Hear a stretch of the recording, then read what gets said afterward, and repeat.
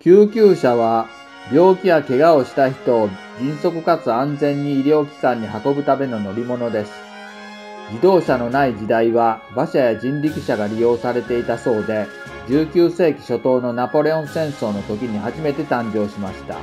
自動車が発明されて以来、自動車が主流となり、日本の消防で初めての救急車の運用が開始されたのは、1933年昭和8年のことで、横浜消防署に配備されたキャデラックを改造した救急車でした。1934年昭和9年には名古屋市の中消防署に初めて救急車が配備され、救急業務を開始しました。緊急通報は現在119番ですが、最初は112番でした。1926年、大正15年にダイヤル式電話が導入され、緊急通報用に112番が設定されました。ところが、度重なる掛け間違いにより、1927年、昭和2年に119番に変更されました。日本では外国人観光客でも健康保険証がなくても119番通報をして救急車を要請すれば誰でも無料で来てくれます。完全に無料であるにもかかわらず高品質な搬送救急車内での高水準の処置が施される国は世界に例がないと言っても言い過ぎではありません。ところが最近では無料だからこそ発生する重大な問題にも遭遇していると言われています。海外では救急車はたくさんの国で有料です。国によっては距離に応じて料金が設定されているものや1キロごとに加算されるものもあります。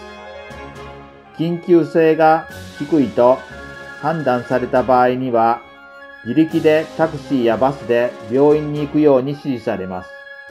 日本では症状に関係なく無料で救急車を呼べるため、タクシー代わりに利用する非常識で迷惑なユーザーが年々増加していると言われています。年間50回以上のユーザーもいるそうです。救急車で搬送された人は65歳以上が大部分を占め、そのうち軽症で搬送された高齢者は全体の約50%を占めています。救急車による病院への搬送の費用は無料です。ところが、1回出動するのに必要な約4万5千円は、全額が税金によって捻出されています。その中で救急車を有料化にするべきだという意見もたくさんあります。救急車の有料化により、不要な出動を減少させるという長所を強調する意見もあります。その一方で、本当に必要な時に呼べないという欠点を危惧する意見もかなり多いです。救急車を一番利用するのは高齢者ですが、年金以外に収入がなく、経済的に過酷な状態にあること、有料化による経済的負担で重症の場合に、本当に救急車を必要としている高齢者が救急車を呼べないのではないかと危惧する意見もあります。救急車や消防車、パトカーがサイレンを鳴らして赤色の回転灯を点灯させて走行している場合は緊急車両になります。免許取得時に教習所で救急車などの緊急車両が近づいてきた場合は道路の左側によって道を譲らなければならないと取り決められていると教えられました。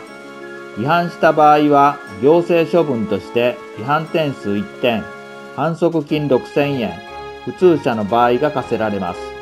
生命に関わるなど、緊急事態の現場に駆けつけているわけなので、その通行を邪魔してはいけないのは当然です。救急車に道を譲るなど、日本人には見慣れた光景に外国人からはいろいろなコメントが寄せられていましたので、その一部をご紹介します。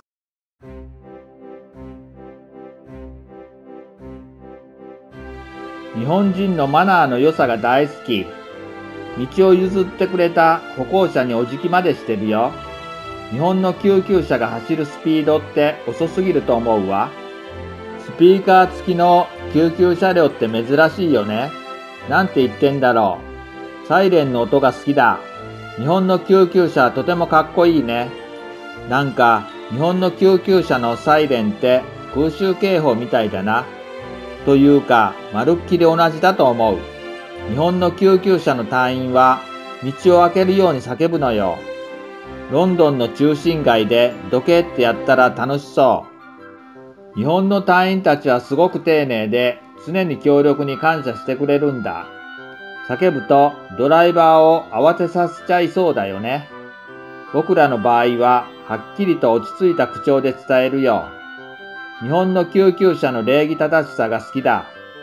道を開けたりすると全部の車にちゃんとお礼を言うんだよね。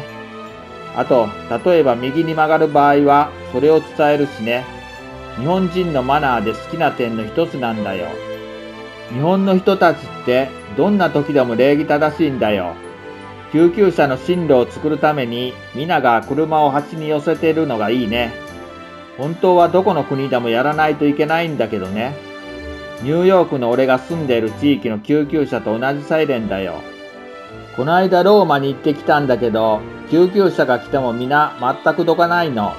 あれは悲しい光景だった。誰も気にしてないんだよ。全員が救急車に道を譲る光景ってのはいいもんだな。日本の救急車は見た目がとてもかっこいい。サイレンの音も好きだ。どうしてスピーカーで何か言ってるんだサイレンだけじゃ不十分なのあんなにゆっくり走るものなのか思わず助けを待ってる人の無事を祈ってしまうよ。日本だと救急車が出せる最高速度は80キロなんだ。状況ごとに制限速度を決めればいいのにね。道路が濡れていない。他に走行車両がいない、交差点がない、そういう状況ならアメリカだと180キロ近く出してもいいんだ。あの日本の救急車のおっさは前から気になってた。赤信号でもちゃんと止まるもんね。日本の救急車両ってなぜいつもスピーカーで何か言ってるんだろう。日本のテクノロジーがいかに進んでるかってことを考えると、昔の SF 映画に出てきたような未来感が救急車になくて残念。日本の救急車っていつもあんなにゆっくり走ってるものなの？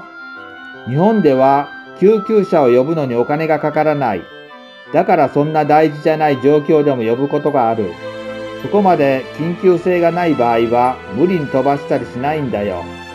用心のためにスピーカーでいつも何かを伝える。日本はほんとクールだね。日本を愛さずにはいられない。なんて礼儀正しいんだ。彼らに敬意を表するよ。サイレンや声で注意を促すだけじゃなくて、もうちょっと早く走れればもっと効率的だと思うんだけどな。サイレンの音はちょっとないな。救急車ってよりアイスの移動販売の音みたいだ。皆で救急車のために道を作る。